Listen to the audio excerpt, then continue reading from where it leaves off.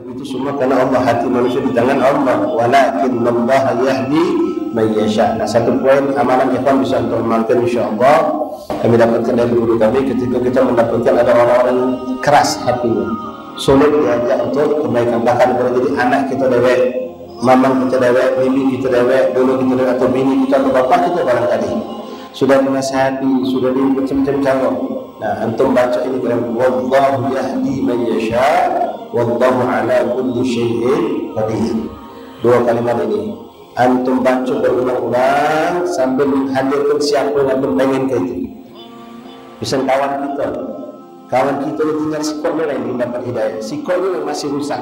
Yang lain sudah mengetahui kita dalam kebaikan. Maka yang ini kita minta sama Allah sambil menghadirkan sosok kawan kita ini sambil berdoa Allah yahdi man yasha wallahu ala kulli syai'in qadir itu boleh kita lakukan ketika sujud dalam sholat.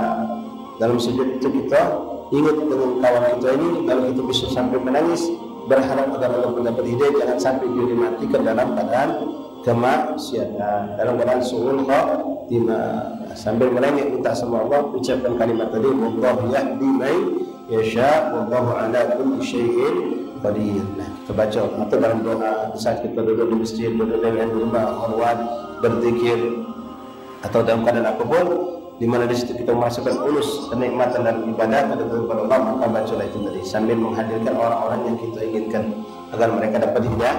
Hidayah termasuk siapa pun pemimpin yang dolim di negeri kita ini. Ya kadang-kadang kita ini sudah terlalu dalam kebencian sampai tidak berharap dia dapat hidayah. Ya padahal itu umat daripada umat Rasul Rasulullah. Wallahu yahdi man yasha wallahu ala kulli syai'in qadir